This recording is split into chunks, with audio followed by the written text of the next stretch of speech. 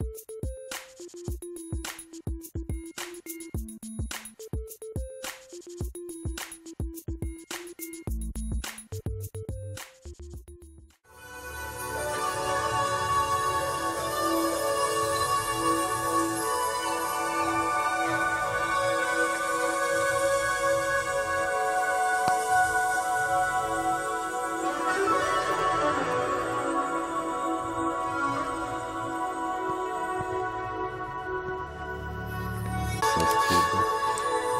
you know, my process is um, one of multitude. Uh, I always had a short attention span coming up, so um, being able to work on more than one piece at a time, or to move to various pieces was kind of a necessity, just because I would I would burn out on pieces. So even as a professional artist, that becomes a challenge at times. Um, so there's times when I'll have, five or six pieces working at one time, rotating them around. It kind of helps me with uh, not running out. But um, I'm one of those artists that, uh, you know, there's two types of artists. There's multiple uh, style artists, and then there's artists that pretty much stick to one predominant style. I'm a multiple style artist just because of my attention span. Uh, it was a bit of a learning disability coming up, but it's an asset it allows me to do quite a few different things at one time, like managing my business and uh, doing the art at the same time. So, and it keeps me from getting bored.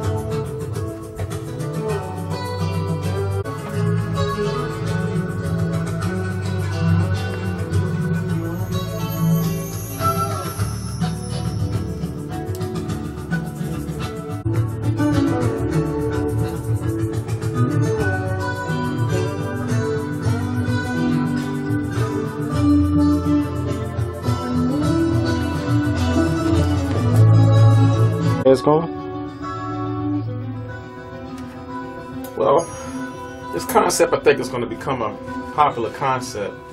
Um, a lot of other artists have already heard what me and Charles did earlier this year when we did a month-long quarantine. And uh, this this quarantine was really designed to see what a weekend quarantine would feel like using multiple artists. So that's why I chose some of the artists that I've worked with over the years.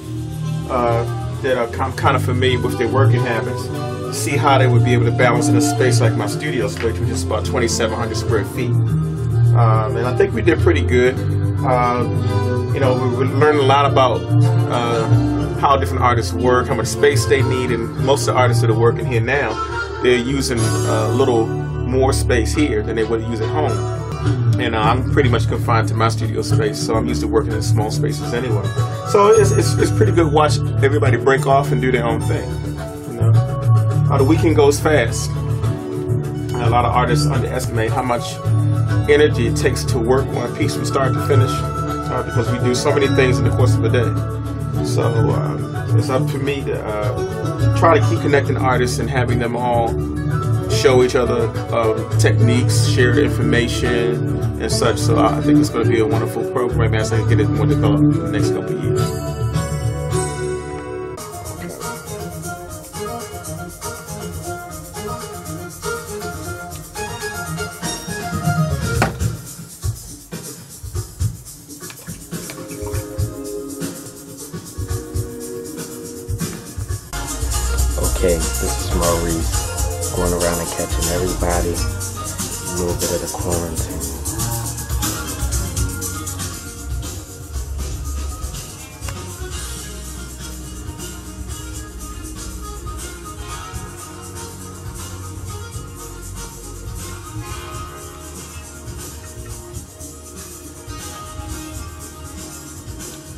How's it feeling, Miss Karen, to have so much time working?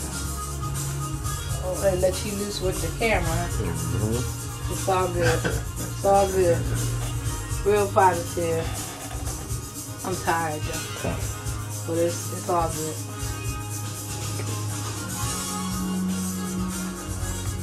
Oh, this not supposed to be out.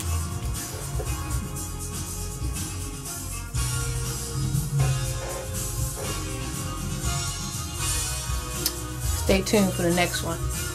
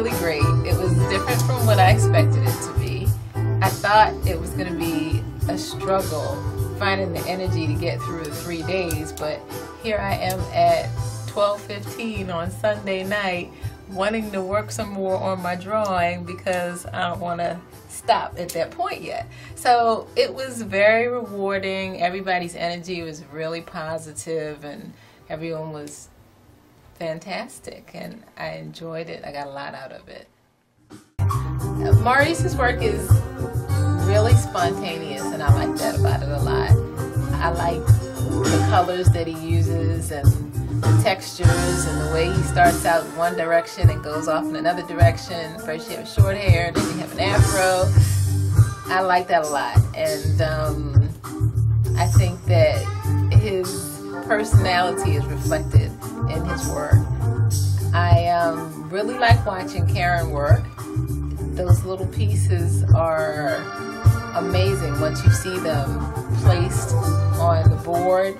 They have a two-dimensional look sometimes, a three-dimensional look at other times, and you really have to step back and try and see what's going on with some of them because they're so complex and the colors are beautiful and the blue was a killer James is really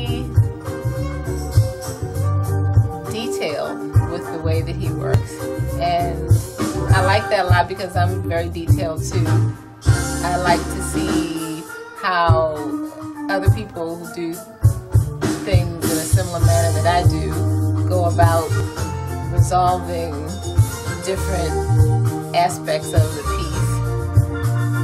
And the final outcome was really beautiful. It was surprising that he was able to get it done considering that he started it late Friday night and even had time to start working on another piece later on today. And they both turned out really well.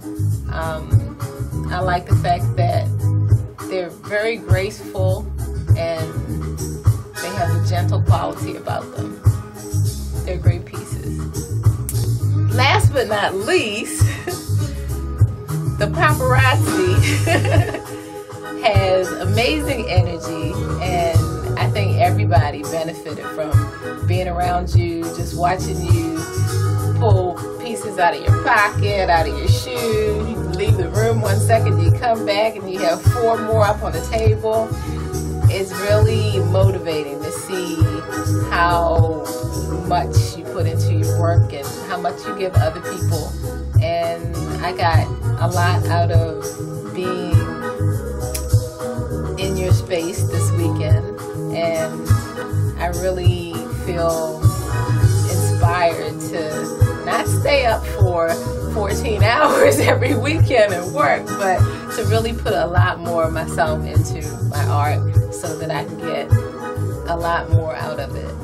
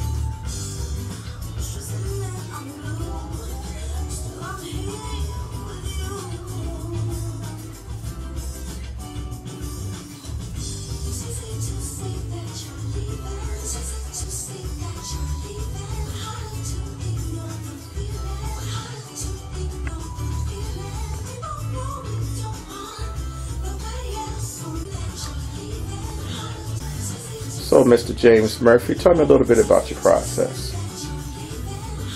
Well, as you can see, I like to work in uh, charcoal, which is uh, among some of the dry media that I like to use. And uh, I always start off, for the most part, with a, a general concept, and then I look for uh, photographic references to uh, kind of capture the meat of what I'm trying to do. And then after I'm finished with the photographic references, I put them away so that I can go ahead and add my own flavor to uh, finalize the projects I'm working on.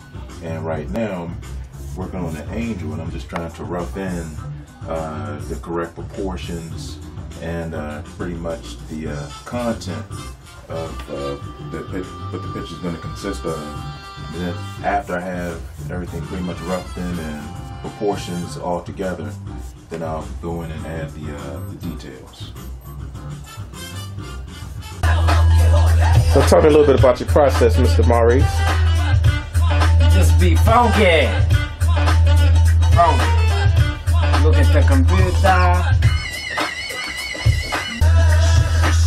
Okay, my process here. I um take a subjective approach and I know just sit back, feel the music, mix up some color, I respond to whatever I put down. I just try to be free. So, tell me what's happening over here on the computer. Here on the So, you got a couple of studies of some of your uh, other pieces on the on the screen. Yeah, I use those as inspiration pieces. You know, I kind of take from the Home and Garden channel, Mhm. like how you have an inspiration room and stuff like that. Right. And I just take uh, some pieces that I'm kind of feeling, put them up there so I can always respond back to them and make sure I'm evolving the whole time instead of Right. staying stagnant.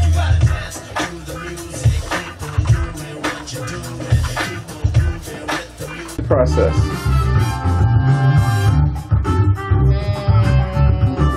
I'm camera shy. Well, just talk about the work. I see you use a lot of old photographs with your work. I like old photographs. I like I like that time period. Mm-hmm. I like um, I like black and white photos, but I like to tone them. So I probably do like a sepia tone version. Maybe I don't know. I haven't done a black and white one in a while, and I haven't done a pastel piece probably in a couple of years. All I've been doing is painting. Mhm. So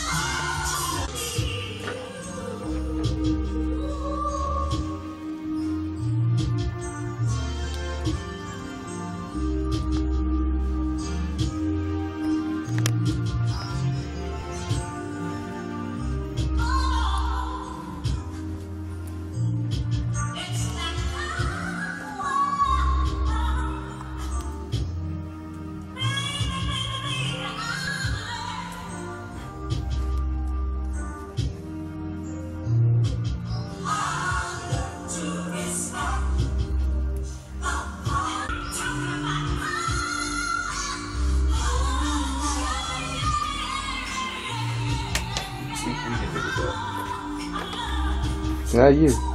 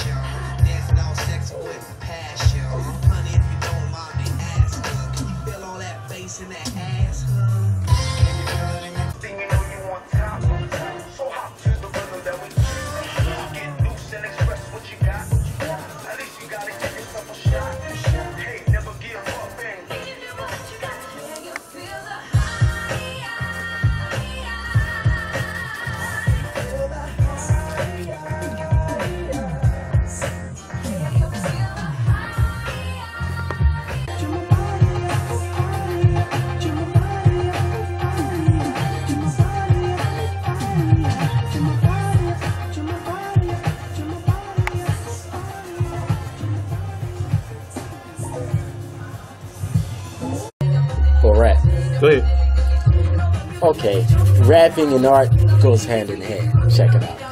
Boom, boom, boom. um, Tell me something about the quarantine, man. We don't want to know about your rapping skills. okay. uh, the quarantine is definitely, definitely beautiful. I look forward to do it more often. You know, drawing with all these other artists here. It's a beautiful thing. And um, I really appreciate the experience. You know, Poncho asked me about it, and I was really gung ho. It was really, really, really nice. Mm-hmm.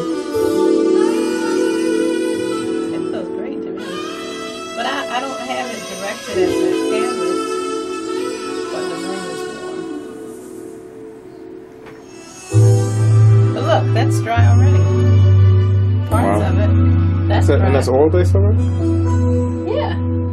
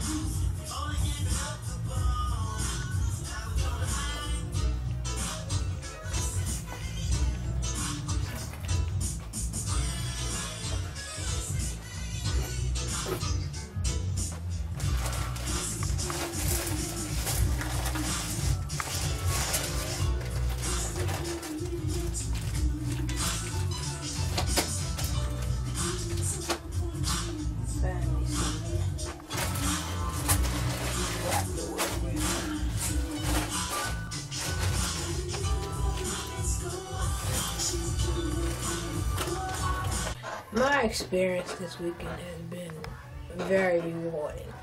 Um, the camaraderie amongst the artists, the um, intensity of working together, the workspace, the um, information that we've been able to share with each other, um, the closeness that we've we've come to come to come to play with with us being here underneath one roof, being it's like creativity that comes into play that I wasn't expecting to happen.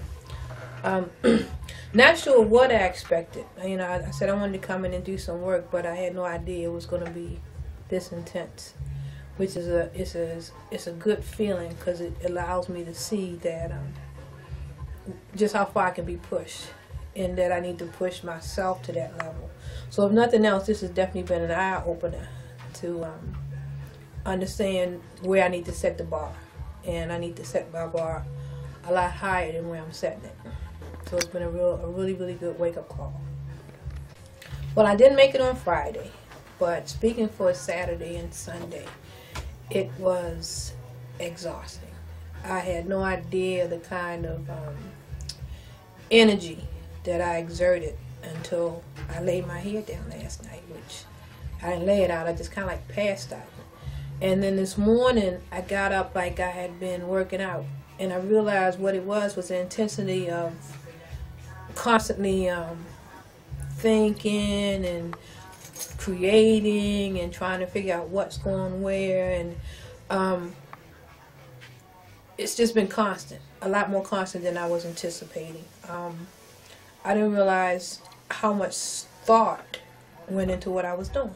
Because i've never been this confined to work and i think being this confined has has kind of like taken it to a level level because it lets me see once again where the pressure can come in and just how how you can work um, the seriousness of the craft and um, just kind of like buckling down and just getting into self. I mean, I'm, I'm a TV buff. I, I take my shows this weekend that I was going to miss, but I didn't miss TV not having it this weekend.